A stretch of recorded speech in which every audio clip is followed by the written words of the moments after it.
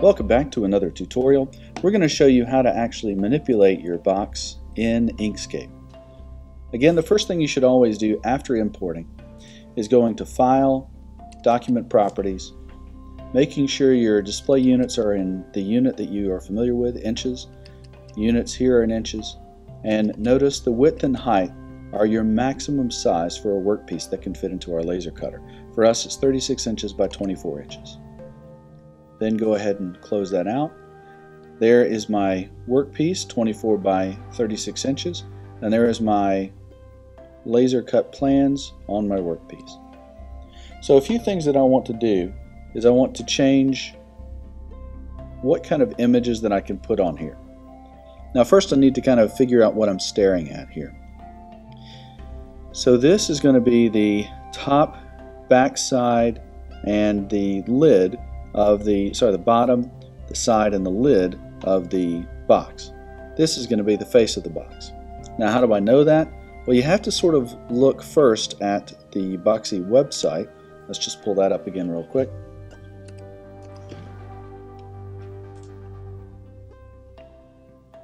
And I'm going to scroll over that box again just so I can get an idea of what that box is going to look like. And if you can look at this image, I'm not sure if it's going to stay there if I move it, and it will not. If I look at that front face, it is flat and it has finger joints all along the bottom left and right, and uh, it's flat on top. It's flat on the bottom, then you have a curve, a rounded curve with a flex hinge around one corner, and then a flex hinge around the other corner. Now ours is taller than this box, so this back part that you see all the way to the right of the screen is going to be taller. And then you have a flat top with the lid and um, a couple of little finger holes, a couple of uh, spots there to grab onto. So that's what we're seeing right here in this box. So that is the little finger holes, so that's going to be the lid of the box. So when I want people to open this, I have to think about how they're going to actually interact with the box. So um, I'm going to go ahead and just first put a logo um, along this. Well, actually the first thing I'm going to do is I'm going to try to put some words. So some of the words that they're big fans of are advocating, educating,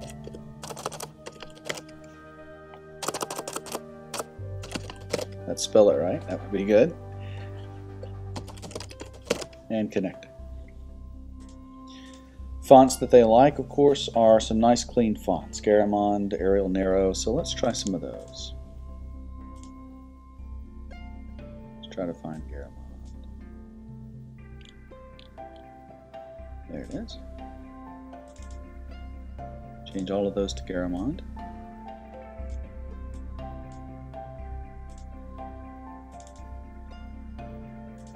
And as a reminder, you know that right now we're making fonts because if you'll look at the cursor, it is changed to a little uh, crosshairs with an A. Remember if I choose something else over here, such as a circle, notice it changes to crosshairs with a sphere or a circle or ellipse. And same thing with the rectangle. So let's go back to this. And so now anything that I do when I click is going to be a place where I can add a font. See that? Any place that I add, even if I do a box, it's going to be a way of adding fonts there into that little box. All right. Now, if I want to move some stuff around to get rid of it, I need to either click over here, or of course I can just hit the space bar, and I'll get back to my normal cursor. There we go. so I'm going to take these words, and I want to pepper these words all along this side here. I'm going to do that on both of these sides.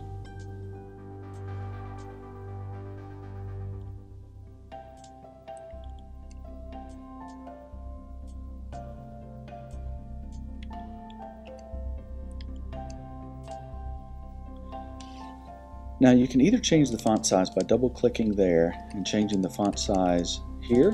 For example, I'm going to make this a lot bigger, 75. Nice and big. Or you can grab this corner and change it like that. Now how do you keep the ratio? Because watch closely. If I don't press a special key while I'm doing this, I can completely mess around with that ratio. I'm going to hit Control Z to undo. So here's what you do. You hold down the control button. As you hold down the control button and drag, the ratio will stay. I'm going to hit Control D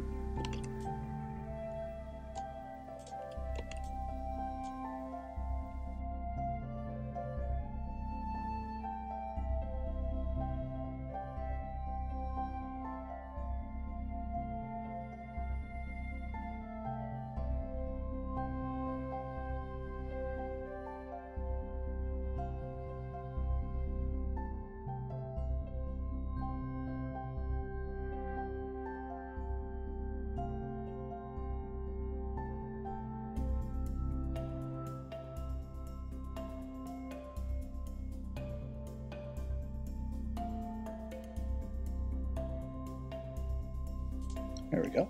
So that's just a quick example of what that might look like. Now if I wanted to take that and just simply duplicate that and put the same thing right here, I'm going to highlight all of this, click, hold, and drag, highlight all of it, hit Control D to duplicate everything, and then just grab that entire thing and put it right over here. Now I'm going to show you this. What if I wanted to make sure that everything was exactly in the same level. Then I might just grab everything, oops, hit duplicate and take my arrows and move them over that way. Another option though is if I look up here, notice the Y isn't changing, the X is. So what if I want to put it right over here in this area? I can just maybe change that to something like 1.5. There we go. So now I know they are still exactly aligned, and aligned, aligned,